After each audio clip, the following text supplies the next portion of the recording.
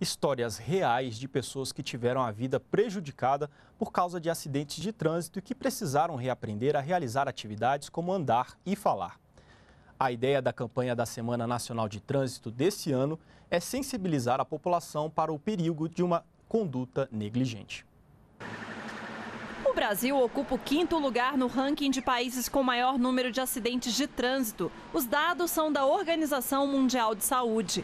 E o Departamento Nacional de Trânsito aponta que cerca de 42 mil pessoas morrem vítimas de acidente de trânsito no Brasil todos os anos, entre motoristas, motociclistas e pedestres. Em muitos casos, quando não matam, os acidentes deixam sequelas. Em 2010, mais de meio milhão de pessoas foram feridas no trânsito. De acordo com dados do Denatran. O número de mortos no Brasil no trânsito representam um Boeing 737 ou um A320, que foi aquele o último acidente que nós tivemos em Congonhas. Hoje nós temos exatamente a mesma realidade de pessoas morrendo no trânsito.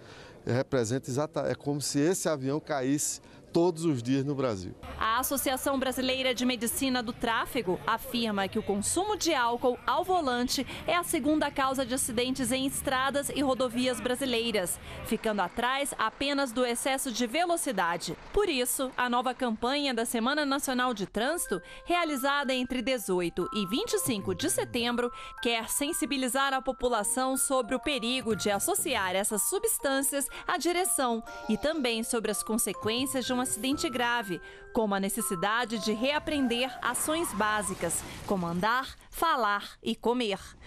Não deixe um acidente obrigar você a reaprender. Seja você a mudança no trânsito. Pela primeira vez foram escolhidos como atores da campanha três vítimas de acidentes de trânsito: Andréa Mello, de 29 anos, João Santos, de 39 e o Ellen Nascimento, de 22 anos. Três histórias reais e diferentes. Em comum, horas de tratamento e reabilitação para tentar se recuperar das sequelas deixadas para o resto da vida deles e dos familiares. Os exemplos desses familiares que estão hoje sofrendo possa contribuir com a história de vida de cada um, para que possamos é, conscientizar os jovens e a não cometer esse tipo de ato, crime. Bebida não combina com direção.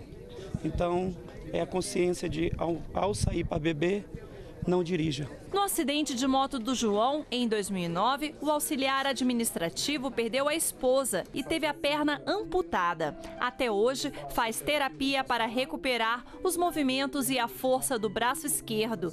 Agora, ele quer ser exemplo para que outras tragédias não ocorram. A gente pode passar a nossa experiência, o que passou, para a pessoa ver na realidade, não vou dizer na prática, na teoria, o que acontece realmente com quem sofre um acidente.